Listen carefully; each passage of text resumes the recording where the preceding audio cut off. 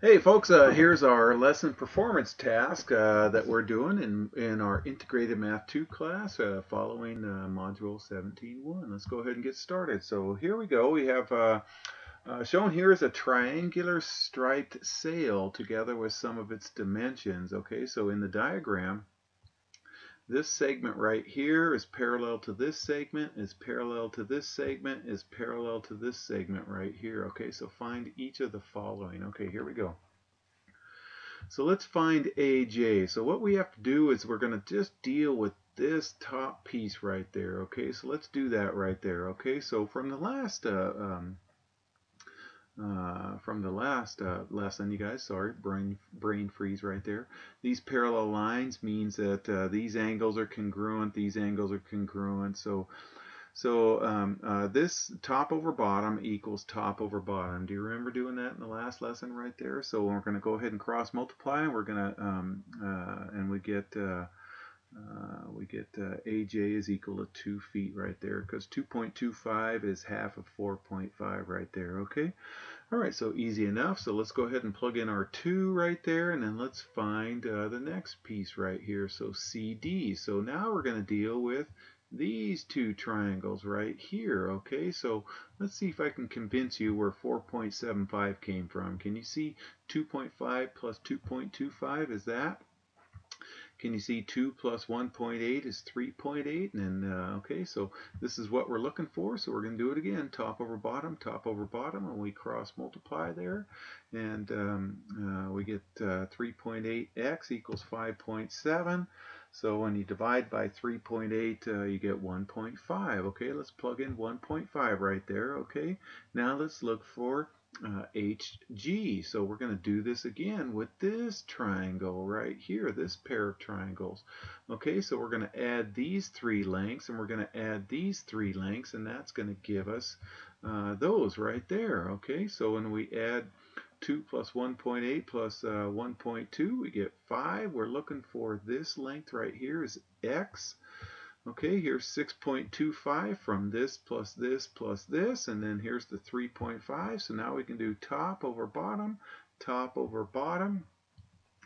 Okay, and then cross multiply, and we get um, uh, 2.8. So we're going to go ahead and plug in 2.8 right there. All right, now it says find GF. Okay, so now we're not going to do uh, what we've been doing. We're going to use uh, this right triangle right here and use the Pythagorean theorem right there, okay?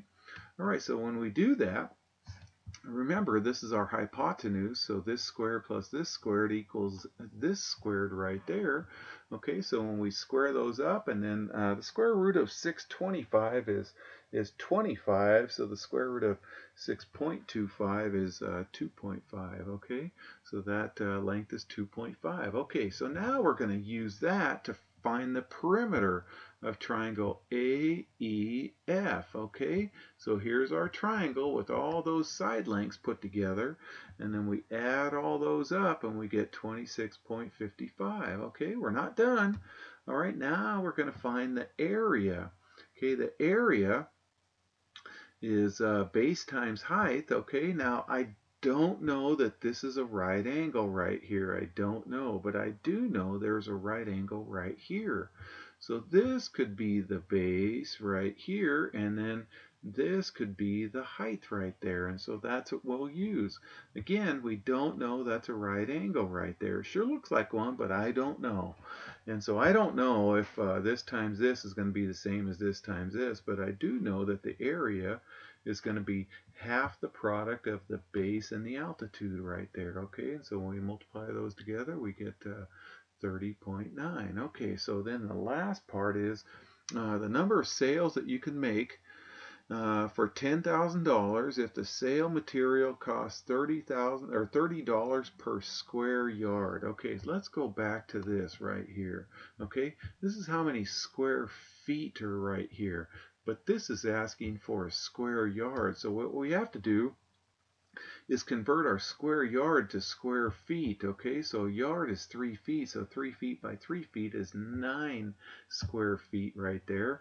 And since there are nine square feet in a square yard, each sail Okay, remember each sail was, let's go back here, each sail was 30.9 square feet. So we take that 30.9 square feet and we divide that by the, uh, how many square feet are in a square yard right there. And we get, um, uh, there's uh, 3.43 square yards in the sail right there. Okay, now we what we're going to do, since it's $10,000, uh, that we're going to spend uh, for uh, 30 square yards right there, what we're going to do is um, uh, multiply that by 30 to find out how much it's going to cost for each sail right there. Okay, so there's this many square yards in the sail and it's $30 uh, for each uh, square yard. So we find out that it's $102.90 for each sail. So we're going to divide that into our $10,000 that we're going to spend